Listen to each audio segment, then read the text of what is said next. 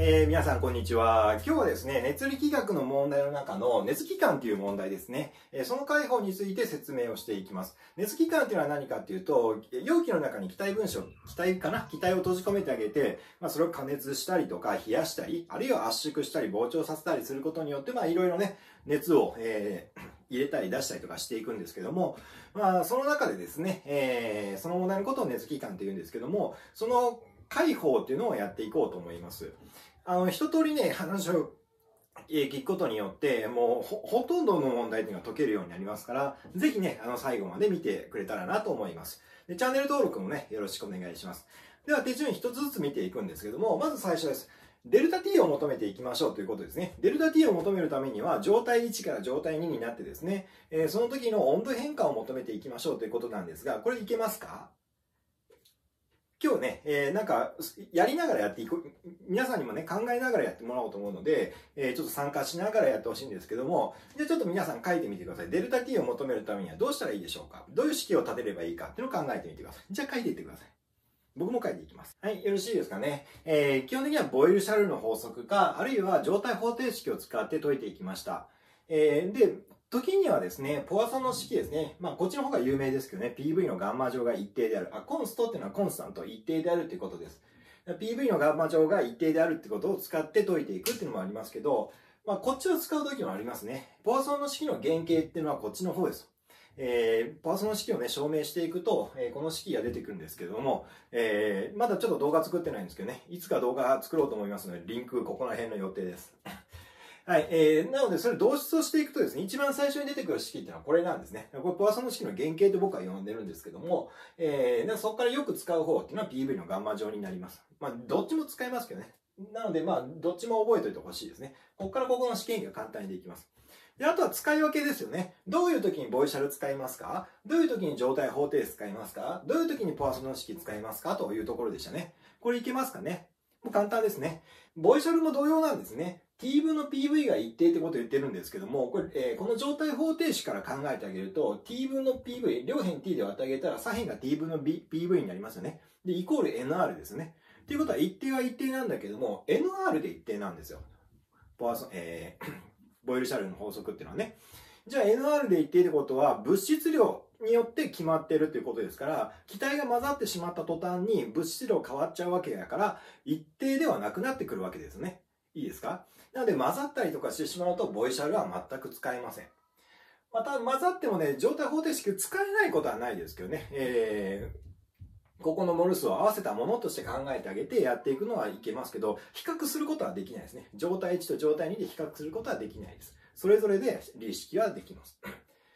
はい、えー、ポアソンの式は断熱変化の時だけでしたね。断熱変化で成り立つということでした。はい。なので、まあ、問題の一番最初のところで、まずは温度を求めていきましょうと。まあ、体積求めようとかね、圧力求めようとかなってるかもしれませんが、基本的にはデルタ T を求めるっていうのが一般的ではあります。はい。では次行きましょう。次は何かっていうと、な、順番は何でもいいんですけども、そうですね、えー、デルタ U を求めていくという方法をしていきましょう。内部エネルギーの変化ですね。じゃあ内部エネルギーの変化はどうやって求めていくかっていうのは、はい、ちょっとまた考えて書いてみてください。はい。じゃあ、いけましたかね。えー、内部エネルギーの変化量を、まあ、デルタ T ね、上で求めていますから、そこから考えてあげると、まあ、2分の 3NR デルタ T でしょっていうふうにね、思ってる人多くいると思うんですけども、2分の 3NR デルタ T っていうのはいつでも使えるかっていうと、まあ、そうではなかったんですよね。えー、単、これ単理って書いてるんですけども、単原子分子理想気体でしか使えませんでした。単原子分子理想気体っていうのは理想気体です。で、単原子ですから、分子一つでできて、分子とは言わないですね。原子一つでで、原子一つで分子になっているようなものですから、ヘリウムとかネオンとかですね。なので、えー、普通は半径、があってね、回転しますから回転エネルギーとかあるんだけども、まあ理想気体ですから大きさがないから回転エネルギーとかもないですよと。二原子分子でもないからね、えー、この回転の軸の半径かな、えそういったものもないですから、なので回転エネルギーはないですよと。だから運動エネルギーだけなんですよね。分子間力による位置エネルギーもないですから。その時が2分の 3NR デルタ T で表せるということなんですね。なので、二原子分子になった瞬間にね、回転の半径出てきますし、えー、そういったことを考えてあげると2分の 3NR デルタ T ではなくなってくるんですよね。だからそこはちょっと注意しておいてほしいんです。使えるのは単原子分子理想気体の時だけです。じゃあそれ以外どうするのかっていうと、単元子分子っていうのが与えられてなかったら、定積モル比熱を使って表すことができるんですね。えこれもマイヤーの関係を、え説明するときにね、えちょっと話していきたいなと思うんですけども、マイヤーの関係の式をね、説明するときにすぐ出てきます。あ、の定積モル比熱っていうのがね、えー、仕事できないですかね、デルタ W、えー、体積変化がないですから仕事できないですから、えー、もらった熱量と、えー、エネルギーの変化、内部エネルギーの変化が等しくなっているということからすぐ出てくるんですけどね。なので、まあ、こうやって使える、使うことができます。で、ごく稀に、本当にごく稀にですけども、えー、これも与えられてない場合があるんですよね。えー、ただその時にですね、自分で比例定数 K と置いてあげる問題もあります。過去にはありました。えー、温度には比例しますから、内部エネルギーっていうのはね、えー、温度が上がっていくと、えー、気体分子の運動へっていうのが活発になりますから、温度には比例しますから、なんとかデルタ T にはなってるんです。その何とかを適当に K とか置いてあげてですね、えー、それでなんか、えー、状態1から状態2、状態1から状態3の変化を比較してあげて、こっちは K デルタ T、こっちは K デルタ T ダッシュでかけるみたいな感じでね、えー、そこから K を求めてあと頑張っていくみたいな、そんな感じでやっていきます。いいですかね？はい。では次3つ目いきましょう。次仕事にしましょうか。仕事の求め方いけますか？えー、今までみたいにちゃんとパターン分けしてくださいね。えー、単元子分子理想期待だからこうだってわけではないですけど、仕事を求めるときにはこんな場合分けがあったなってことを思いながら、公式をパンって書くだけじゃなくて、ちゃんと場合分けをしながら書いてみてください。はい、じゃあ行きましょう。はい、じゃあいけたでしょうか。まあ、ここはね、ちょっと特殊なんですけども、どうしてもね、高校物理の時には、えー、機体の下仕事っていうのをね、えー、力かける距離から考えた時に、力が圧力かける面積ですね、PS でした。で、移動距離を X としてあげると、PS かける X、S かける X っていうのが、これが体積変化になってましたから、P デルタ V でかけますよっていうのが一番最初だったんですよね。で、だからそれを最初にやってるからね、これ上に書いちゃってるんですけども、えー、実はこの P デルタ V っていうのは圧力が一定の時しか使えないんですよね。だってこの P ってどの圧力なんですかと。圧力がこう変わっていった時に、どの圧力代入したらいいんですかって分からなくなっていきますよね。なので、圧力が一定の時、低圧変換の時しかこれ使えませんよということなんですね。で、今までだったらそれ以外だですね、単元子分子理想気体だったらこれですよと、それ以外だったらこれですよってことだったんですが、実はですね、これだけ特殊なんですよ。だから実はその高校物理で一番最初にやってるやつっていうのは、もうそのもの、その時しか使えないものを、すごい特殊なものを一番最初に教えてるんですよね。これ気持ち悪いんですけど、かなりね。うん、僕もそう教えてますけどね。まあ、教える便宜上、ちょっと仕方ないは仕方ないんですけども、いつでも使えるやつっていうのがあってですね、えー、PV グラフの面積です。これは圧力が変わったとしても大丈夫ですね。加工面積考えてあげたらいいだけですから、ちょっと書いていきましょうか。PV グラフがあって、圧力がこういう風に変わってたとしましょうと。この時の囲む面積ですね。今回圧力が明らか変わっていますけども、この囲む面積がちょうど仕事になっていますよというところなんですね。なので今回圧力が明らか変わってますけども使えますよと。もしこれ圧力が一定だったとしても面積から P デルタ V っていうのはすぐ出てきますからね。高さが P で横幅がデルタ V ですよね。だから出てきますよね。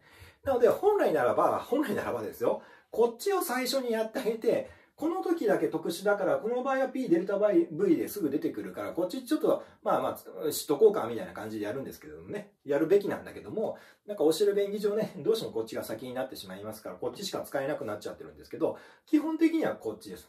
PV グラフの面積。面積求めてるってことは、これ積分してるのと一緒ですから、積分ですよね。なので、まあ、こんな手順で求めていくというところですね。はい、じゃあ残ってるのは最後 Q ですよね。熱量 Q。熱量 Q の求め方。はい、じゃあちょっと書いてみてください。はい、じゃあいいですかね。倍分けっていうことではなかったんですけども、まあ一応倍分けっちゃ倍分けなんですけどね。えー、モル比熱が与えられてる時ですよね。Q を求められる時っていうのは。えー、まあ熱力学第一法則をね、考えた人いたかもしれませんけども、えー 今回はね、えー、直接求める方法っていうのを考えていってますから、直接求めれる方法としては、低圧変化で低圧モル比熱が与えられている。低積変化で低積モル比熱が与えられている。えー、なんとか変化で、えー、その変化のモル比熱が与えられている時っていうのは、直接計算することができるんですよね。いいですかね？なので、えー、まあ、これは少ないですね。直接、モルヒ熱が直接与えられている場合はすごく少ないですから、まあ、こうやって直接 Q を求められない時ってのはありますけどね。はい。じゃあ、ここまで OK ですかね。今までやったのは何かというと、直接計算する方法なんです。えー、デルタ U、内部エネルギーの変化であったりとか、仕事、機体がした仕事、あるいは機体が得た熱量 Q については、直接求める方法っていうのを計算したんです。で、例えばですけども、えー、モル比熱が与えられてないから、Q がわからないですよと。Q がわからないときはどうするかというと、W とデルタ U から熱力学第一法則を使って求めていきましょうと。あるいはですね、グラフが与えられてないと。圧力も一定じゃないと。仕事が直接計算できないですよと。その場合は Q とデルタ U から W を求めていきましょうと。でも最後も簡単、分かりきってますけども、えー、単元子分子理想気体でもないと。えー、定積モル比熱も与えられてないと。えー、なので直接デルタ U を計算することができないと。けども、W と Q を直接計算できるから、その2つからデルタ U を求めていきましょうということなんですよね。いいですか？なので、何が大事かっていうと、それぞれが直接計算できる方法がどういう時かっていうのはちゃんと自分の中で場合分け、使い分けっていうのができてるかどうかなんですよね。その上で今回はデルタ U ができ、計算できないから間接的に求めていこう。Q が求められないから間接的に求めていきましょうということなんですね。はい。では最後、あの、それを使った熱力学第一法則の使い方っていうのを見ていきましょう。はい。では、熱力学第一法則の形を書いていきました。えー、これは本当に先生によってですね、表し方っていうのは全然違います。デルタ U を軸にして書いてる僕みたいな先生もいれば、えー、Q を軸に書いてる先生もいればっていうことなんですけども、まあ、それはもう人それぞれですし、一番わかりやすい方法でやってくれたらいいです。なので僕はこれが一番わかりやすいと思ってるので、もし君たちがですね、えー、Q イコールの方がわかりやすいっていうんだったら、それはそれで全然構いませんから、まあまあ、とりあえず説明だけ聞いてみてください。よろしくお願いします。はい。じゃあ、デルタ U 見ていきましょう。えー、冒頭にも言いましたが、デルタ U っていうのは気体の内部エネルギーなんですわ、なんだったんだけども、内部エネルギーってのは何かっていうと、気体分子が持っているエネルギーなんですよね。運動エネルギーであったりとか、位置エネルギーであったりとか、ということでした。理想気体ならば分子間力がないですから、位置エネルギーがないと。えー、単元子分子だったら回転半径がないから回転エネルギーがない。運動エネルギーだけだったんですよね。まあそんなもの、気体分子の総エネルギーのことを内部エネルギーと言いましたと。で、それがいつ変化するかっていうことなんですけど、周囲から熱量をもらったらその分だけ増えてエネルギー変化しますよね。だからもらって、熱量をもらったらもちろんプラスですよとエネルギー増えますからね。じゃあ仕事をした。気体分子が仕事をしたら、仕事をしたら疲れてエネルギーが減りますよね。だからマイナスです。逆に仕事されたら、ボーンって仕事、なんか圧縮されるわけですね。壁が圧縮されてボーンと押されるわけですね。僕期待分子ですよ。壁にボーンと押されると。押されたらこれ速くなりますよね。運動エネルギー増えますよね。なので気体運動、えー、気体の内部エネルギー増えますよね。だからその場合、仕事された場合はプラス W ですよね。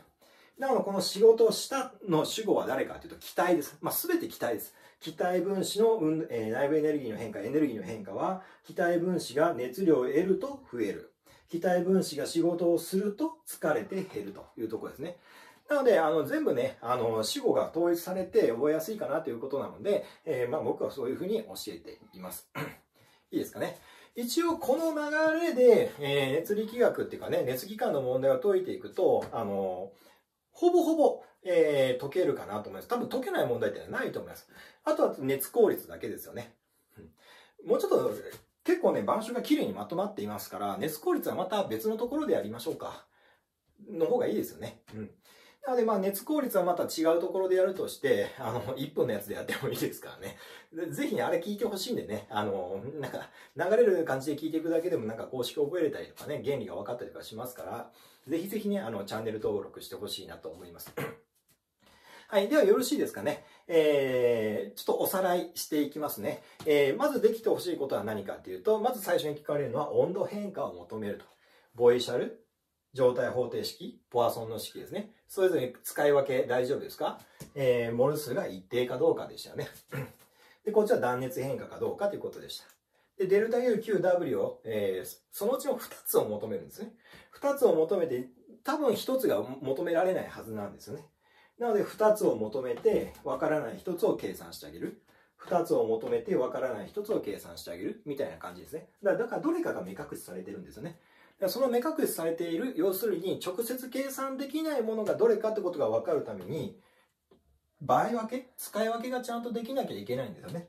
なので、内部エネルギーの変化は単元子分子理想気体だったらこう求めることができる。それ以外だったらこう求めることができる。じゃあもし定積モル比熱が与えられてなかったら、デルタ U を直接計算することはできないから、Q と Q と W から計算していきましょうということですね。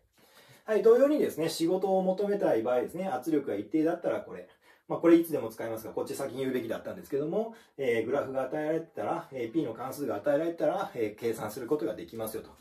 じゃあもしグラフ与えられてない、圧力もわからないという状態だったら W を直接計算することができないから Q とデルタ U から計算していきましょうと。はい、これが一番多いですね。Q を直接計算できない場合がほとんどです。モル比熱が与えられてない時が多いですから、その時はモル比熱 C をですね、えー、計算できないですから、えー、これを直接計算できないので W とデルタ U から求めていきましょうというとこなんですよね。で、本当に陥りやすいのは、ここれがわからない、与えられてない、えー、直接計算できない問題ばっかりですから、これとこれからこれを求めていくみたいな感じで慣れちゃってる人が本当に多いんですよね。だから、これがわからないってなった時に対応ができないんですよ。これがわからないってなった時に対応ができないんですよね。いいですか？なので、やってることは全部統一してやっていってくださいね。いいですかね？いつでも Q がわからないってわけじゃないんです。で、それに慣れないでください。こうやって手順考えていけばめちゃくちゃ当たり前になったでしょ？今やってることって。お、こんなことだったのって思うでしょ？だこんなことを考えながら問題を解いていったら、間違うはずなんかないんです。いつでも満点取れますから、えー、まあ熱効率やってないですけどね、そこまで、ここまでのところだったら満点は取れますから、自信を持ってね、やってほしいです。ただ、あの、繰り返しこれを意識しないとで、ダメですよ。一回聞いたからってできるようになるかってできないですから、一回問題解いて、で、これ見て、あ、これ、このやり方忘れてたわ、みたいな感じでね、ここがちょっとうやむやになってたらと思ったら、またここ復習しなきゃいけないし、ここもわからんくなってたら復習しなきゃいけないし、何度も言いますけども、場合分けですね。使い分けがちゃんとできるかどうかです。いいですかね？よろしくお願いします。はい、えー、ではちょっと長くなりましたが、あの、少しでもね、えー、た、今回は結構ためになったと思うんですけどね、すごいあの、秘伝の物理って感じがしますけどね、本当にこの、これやば式ですね、これやば式の物理で本当にね、これはもう外にあまり出したくないぐらいの、えー、教え方にはなるんですけども、ぜひね、これ、あの、有効に使ってほしいなと思います。すごい参考になったと、個人的には思うんですけどね。なので、よかったな、参考になったなと思ったら、ぜひいいね、よろしくお願いします。でチャンネル登録もよろしくお願いしますね。で、周りの声物理が困ってる子がいたら、ぜひ、あの、お勧めしてあげてください。あの、みんなでね、僕のチャンネルを盛り上げてくれたらなと思いますので、よろしくお願いします。じゃあ、あの、頑張ってこの後問題解いていってください。はい、では、さようなら。